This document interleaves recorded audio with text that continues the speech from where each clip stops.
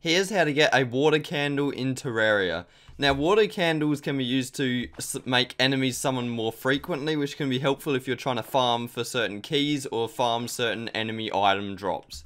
Now the way that you get water candles is by coming to the dungeon. The dungeon's located on the outer edges of your world, so head to the left or to the right until you find it.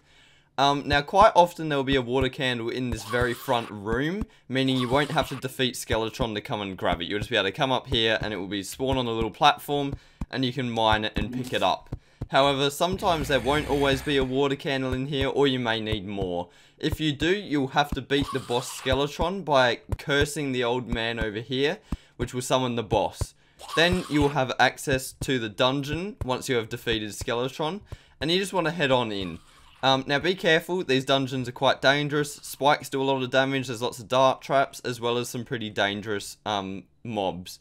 So you just want to be careful of that, but once you're equipped to be able to deal with them, they're not too bad, and you just want to head on in and go as deep as you can until you find water candles. There will be quite a few of them scattered throughout the dungeon, so just keep on looking and you will definitely be able to find some. But that is how you get water candles in Terraria. If this video was helpful, please do leave a like, a comment for the algorithm, and don't subscribe.